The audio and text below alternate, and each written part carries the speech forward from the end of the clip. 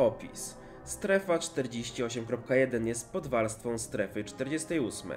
Standardowe operacje wewnątrz są dozwolone dla wszystkich patroli oczu Argos. Dostęp grup zewnętrznych powinien być ograniczony do minimum. Podpoziom jest spokojnym pustkowiem ukrytym pod lazurowym, półprzeźroczystym niebem. Enklawa oferuje zróżnicowaną mieszankę tropikalnych i umiarkowanych biomów obejmujących 1500 mil2 w okrągłym terenie.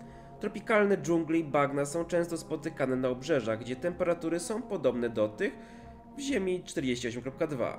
W miarę jak obserwatorzy wkraczają do centrum podgrupy, zarówno temperatura powietrza, jak i poziomy światła spadają, powodując, że lasy i równiny o umiarkowanym klimacie stają się bardziej powszechne. Jeziora i strumienie rozsiane są po idylicznym, pokrytym mgłą krajobrazie, ale opady są rzadkie i generalnie zlokalizowane na tropikalnych obrzeżach.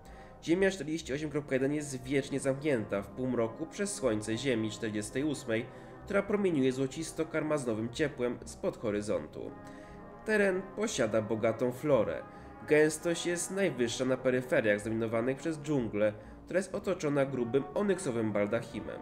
Niektóre gatunki wydają się przypominać te odkryte na Ziemi 48, w tym Gromeladis i Veroca flowers. Zaleca się jednak ostrożność przy obchodzeniu się z takimi analogami, ponieważ pozostają one w dużej mierze niezbadane.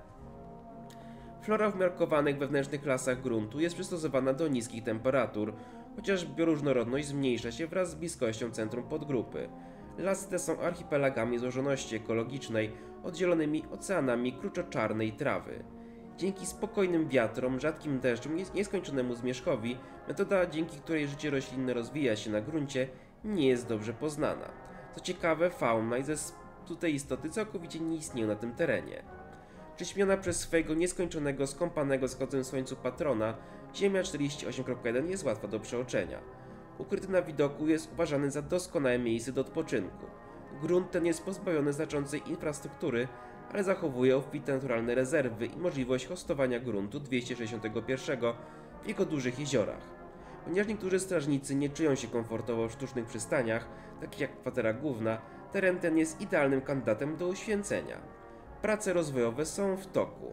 Kontekst odkrycia. Istnienie terenu zostało potwierdzone po serii okrutnych ataków nieznanych napastników na farmerów Wyroka z terenu 48.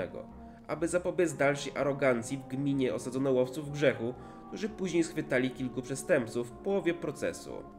Podczas przesłuchania na platformie sprawcy przyznali się do obecności nieznanej wówczas podziemi, z której prowadzili swoje operacje. Wkrótce potem zezwolono na misję poszukiwawczą. Obszary zainteresowania. Obóz maruderów. Obóz maruderów, którego lokalizacja została ujawniona przez łowców, był plugawym slumsem pożeranym przez grzech. Pozbawiony wstydu, był odwiedzany przez przestępców i terrorystów, którzy sprzedawali strach i cierpienie społecznościom na całym terenie 48.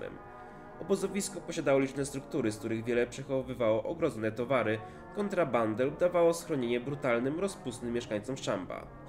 Prawo usankcjonowało więc polowanie.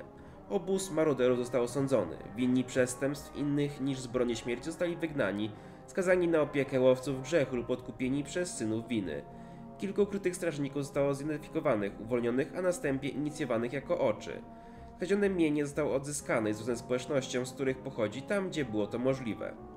Opuszczone miejsce zostało oczyszczone poprzez immolację. Krater. Przeprowadzono szeroko zakrojone poszukiwanie ścieżek na terenie, aby usunąć wszelkie grzeszne ślady. Krater został odkryty w wyniku jednej z takich ekspedycji. Jest on ogromnym zagłębieniem centrum terenu. Temperatury pobliżu centralnego zagłębienia są jednymi z najzimniejszych w podziemiach, średnio 500 stopni Celsjusza. Obszar otaczający ziemską bliznę jest wyjątkowo jałowy. Roślinność, jeśli jest obecna, jest często zakłócona i uszkodzona, jakby zdmuchnięta przez wstrząs.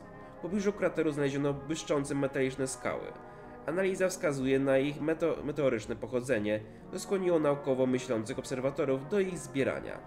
Fragmenty są dobrze zachowane, prawdopodobnie z powodu braku wilgoci i opadów w pobliżu centrum podłoża. Testy wskazują na znaczną wytrzymałość i plastyczność, co sugeruje potencjalne zastosowanie w obróbce metali. Enklawa. Założona po nalocie na obóz maruderów, enklawa jest ukrytą społecznością oczu Argos. Przydająca miasto instalacja mieści dużą liczbę cywilów, których zdaniem jest produkcja sprzętu wspierającego misję oczu. Lokalizacje wejścia i ucieczki. Teren jest połączony z lasami tropikalnymi terenu 48. Aby wejść na ten teren, obserwatorzy powinni odwrócić się od zachodzącego słońca i udać się w głąb zarośli w linii prostej.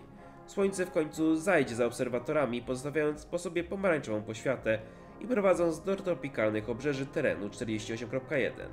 Aby powrócić na teren 48, obserwatorzy muszą udać się na obrzeża podgrupy i podróżować w kierunku blasku słońca, aż wzniesie się ono ponad horyzont. I cóż, to było na tyle z tego podpoziomu. Jeśli dotrwaliście do końca, zostawcie po sobie znak komentarzu, łapkę w górę lub subskrypcję. Zachęcam Was też do wsparcia kanału. Oczywiście jest to nieobowiązkowe, ale dzięki temu macie szybszy dostęp do filmów z Backrooms. A ja na miejscu żegnam i do zobaczenia. Na razie.